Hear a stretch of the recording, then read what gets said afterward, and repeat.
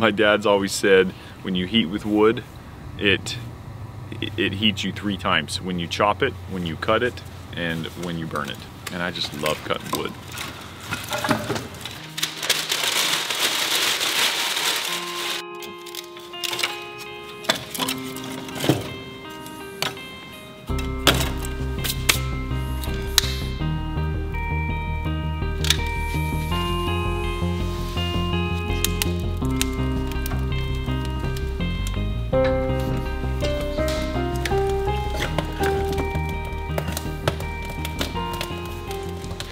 So I did quite a bit of research before we landed on the heating solution for our house. The outdoor boiler is our main source of heat when it gets really cold. And then as a backup to that and, and more or less for the shoulder seasons, which would be like fall and spring when it's you have cold days, but then you have warm days right immediately following. Uh, our indoor wood stove is to heat during those times. Then as a backup to that, when none of those are going or say we're out of town, we have a propane tank that that fires off the furnace and and heats that way. So three sources of heat. We feel good with the solution that we've landed. When we finished our house in July, we had prepped the boiler lines by burying them into the house. This is the insulated PEX line that's coming from the that's coming from the boiler and feeding hot water to the house. I already pre-installed two uh, supply line and a return that'll match up with this. The colors don't matter as long as I align it in the house, which I already have. A hundred foot of this insulated PEX for the boiler.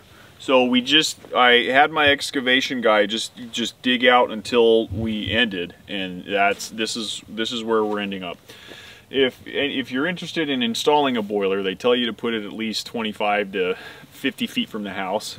We ran into an issue though when nobody local, like no HVAC service, no plumbing, and uh, nobody knew how to put those in because they're they're a lot less common down here. If we lived up north in Minnesota or Canada, then there'd be guys all over that could help with this. But I was kind of left on my own to do that with the help of the company Portage and Main. They were amazing uh, answering my questions and then other YouTube videos of guys that have uh, done similar installs. I just kind of learned myself what they had done and and uh, and configured that for our own system. So that process took a lot longer than initially anticipated. I had hoped to get the boiler up and running by Thanksgiving, but that uh, did not happen. We ran into a number of hangups. It seemed like every time I went to kind of install the next section, I'd have a part that I needed. And so I would wait for that. We were finally able to get it hooked up the weekend between Christmas and New Year's. And it took a full day to, to just test and get the water filled and the treatment in and make sure uh, make sure everything was running properly. It's raining, but I gotta do something. I'm putting in the final connection to our boiler so we can get that hooked up and fired up for the for heating the house.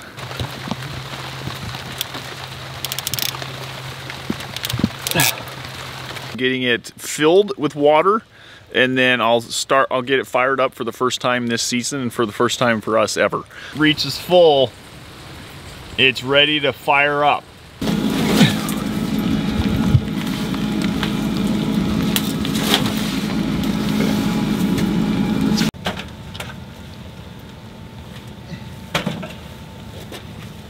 I was incredibly nervous because uh, I wanted it to work. Uh, and then we did have actually a major hangup that day too. You're Smiling, but you're not happy. Yeah, well, brand new house. I'm already tearing it apart. Um, I installed, the, the, there's a hole in the boiler lines. And so I need to find where that is. It's somewhere in this wall. so I installed the boiler lines and then when the siding was put on, I'm pretty sure some nails poked right through the pipe. And so that's causing a leak. And we could see it dripping out the bottom where these pipes go to the outside. And uh, so troubleshooting. right now. This one. So Cam finally found out where the nail hit there, and it was from the siding nails. Just right up there at the top. Yeah, it's one of those two nails. Hole here, right by my finger, and a hole here. Just two tiny nail holes from the siding. Almost fixed.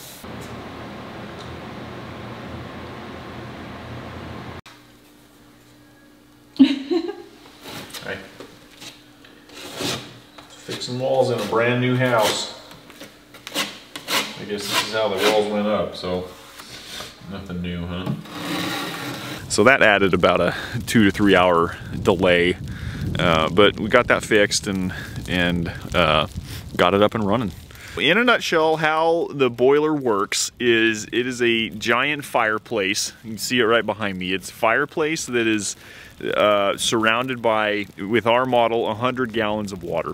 And the fire heats the water to a temperature that I have set, and it's typically between 170 and 180 degrees.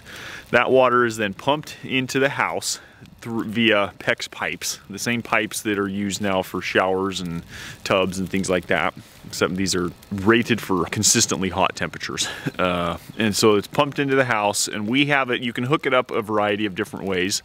Ours is hooked up to heat our uh, air in the place of our furnace and then also uh, heat our domestic hot water. Some people use it and hook it up to radiant flooring if they have that or if they're doing a new build. The nice part about these is we put ours in while our house was being built, but they designed these so they can easily be retrofitted into an existing home.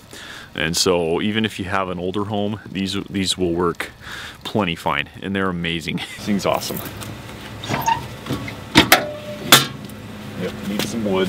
I, I load it about twice a day, fine.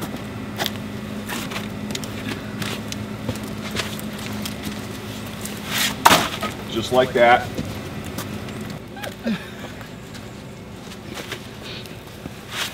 I love that it takes big logs because they're much easier to cut and stack.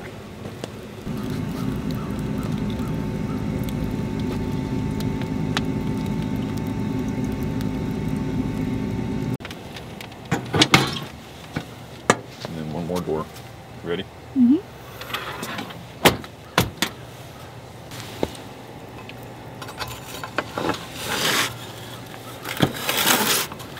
Yeah, it's full.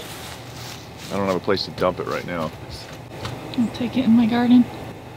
it's still on fire, Yeah. so I need it to cool. So I've been dumping it over there under the deck. I can scoop it into a wheelbarrow for you from there. Sounds good. Cool. Okay. So, a couple main reasons why we decided to use a boiler as our primary source of heat. First, it is a cost-saving device. It allows us to use wood from our own land, which is free, and the price of that is not going up. Uh, whereas propane or electric, that seems to be going up and is not coming down. It keeps the mess outside and when compared to like heating your home with a indoor wood fireplace. So all the wood is kept out by the boiler outside. You're not messing with lighting a fire in, in your, you know, around your fireplace and all that stuff. So that's another reason. You light it at the beginning of the season and it stays lit until the end of the season in spring. And so you light it once and it just it keeps going as long as you stoke it with wood.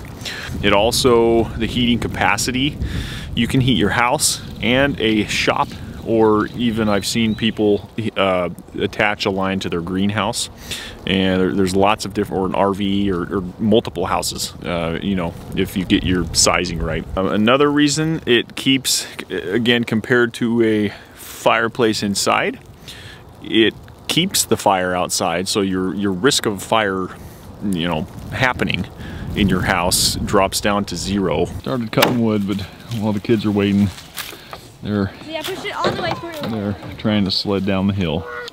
Our grandpa on the axe. Glad to have his help. You thumb? Did you fall down or something? What happened?